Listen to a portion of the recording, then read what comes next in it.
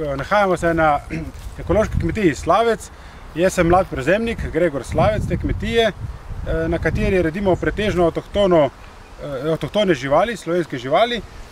Tlele v ozadju lahko vidimo drežiško kvazo, bovško ovco, slovensko srnasto kvazo, dalmatinske osličke, na drugem pašniku imamo potem še govedo, cikasto govedo, krajinsko sivko čebelo v čebelnjaku.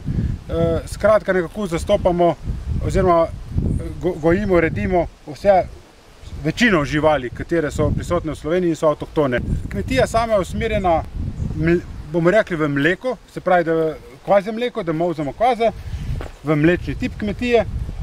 Sicer pa dajemo tudi velik poudarek na temu stiku med živaljo in človekom.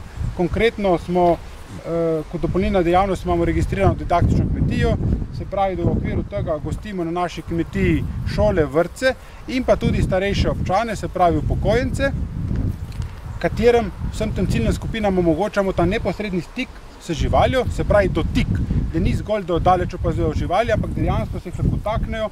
Konkretno v tem primeru, ker zdaj gledamo tlele osličke, te oslički so tudi ujahani, se pravi, otroci jih lahko sedejo na njih, pa gremo tlele po kmetiji na dva kroga z njimi, kvazo probajo pomolsti oziroma se dotaknejo, njene dlake, konec koncev tudi drogov in tako, da mičkeno počutijo. Ne nazadnje pa tudi same kokoši. To je, bomo rekli, mogoče zapostavljeno malo, ampak otroci na naši kmetiji so najbolj pa navdušeni, ko pobožajo kokoš. To je nekaj najbolj tajnega, ker rečejo, pa kaj lahko tudi kokoš? Ja, seveda lahko tudi kokoš. Trčimo pa tle ob en velik problem in sicer so pa tudi zveri, katere so hadu prisotne na našem področju. Žal se soočamo, če ne že vsak teden, pa vsaj vsak mesec napadi, tako se strani šakala, medveda in pa volka. Res gradimo in delamo, da bi navdušili mlade, predvsem mlade bom rekel, da bi še kdo imel željo in voljo kdaj kmetovati oziroma v nadaljnje kmetovati. Nahajamo se na kraškem območju občine Ilirska Bistrica. Torej tudi kar se tiče,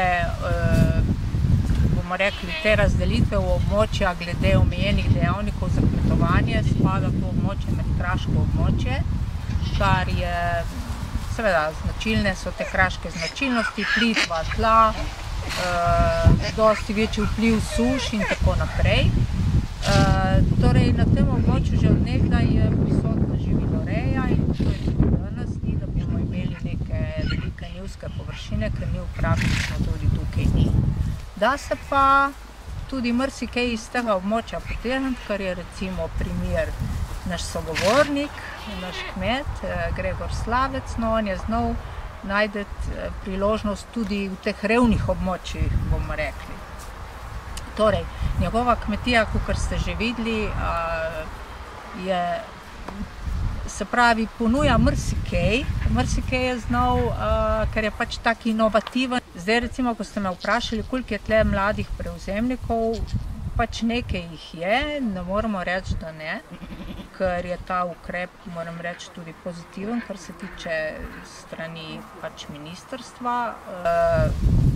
No, kakor, pravim, je nekaj teh mladih prevzemnikov, v glavnem so pa tu živinorejci, tukaj je, bomo rekli, glavna panoga živinoreja, pašna, bolj ekstenzivna živinoreja, ne govorimo o kakšnih, niti o sadjarstvu, no, razen njega, ki je pač začel s temi malinami, no, to je nekako neka priložnost, čeprav je pa tukaj tudi značilna velika burja in je problem